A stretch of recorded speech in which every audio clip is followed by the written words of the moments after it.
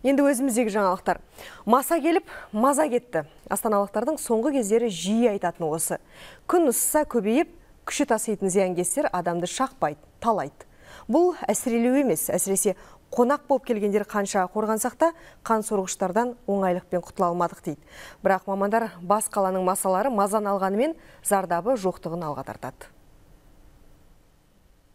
Мына қасына дейін шақып тастаған мына астына дейін көрдіңіз ба бәр жерін немерелерін көріп кентаудан келген әженің көңіл күйі түсті себебі балаларының қол аяғы ісіп мойны бөртіп кеткен енді солардың денесінің ашық жеріне маса қонбасын деп крем жағумен әлек мүмкін емес басқаша жүру күндіз түнде де маса маса шаққанда дәу дәу масалар немерелерімді жеп қойған бірталай тура жаңа крем жағамыз масада мез болған сымбатты астанаға қашқан. Әпкемді көріп емін еркін қыдырып келем деген оның да жолы болмады.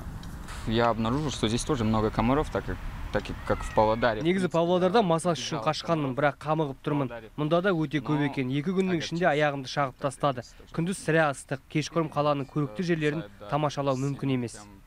Кешке көпейіп кетеді кішкене төрт бес алтыда бастанады соңынан о тоғыз онгаcha көп болып кетеді ал бұлар экспо алаңына аттандырып жатқан жұмысшылар барлығының уайымы бір бірақ былтыр халықаралық көрме кезінде масаның бір ізіңі естілмейді дейді көпшілік. Қала тұрмақ сыртында улаған.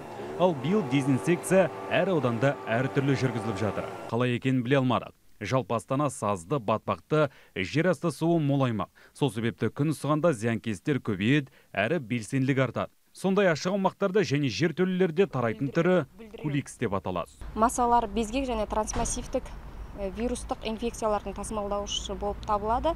Бірақ астана қаласы аумағында инфекциялық тасымалдаушы маса жоқ. Қала тұрғындарына ол үшін төніп тұрған қауіп жоқ. Шерхан жамбылұлы нысаналы еркінжан керімжан қазақстан ұлттық арнасы